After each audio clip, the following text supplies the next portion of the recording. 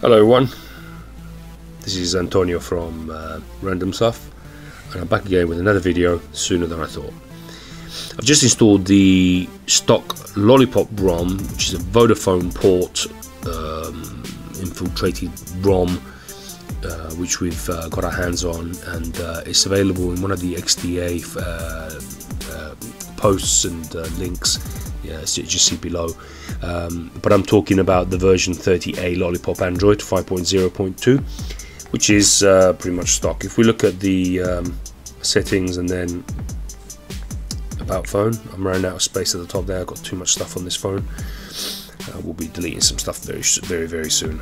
So software information as you can see here I've got a baseband in there. Before there wasn't one in there. And um, it was causing me some strange behavior so that's that's pretty good.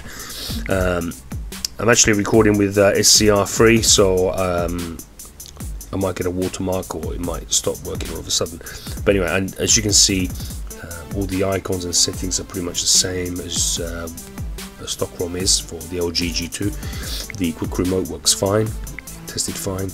Uh, I will be doing some benchmark tests, uh, tests very soon, and I'll put the uh, links here as well.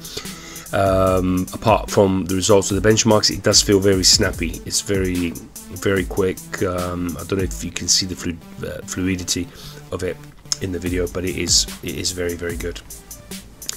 Um, here's uh, my device with you know 270 plus applications or something stupid like that if I just go to uh, show you very quickly um, when I installed it um, it actually asked me you know if I want Google to restore them.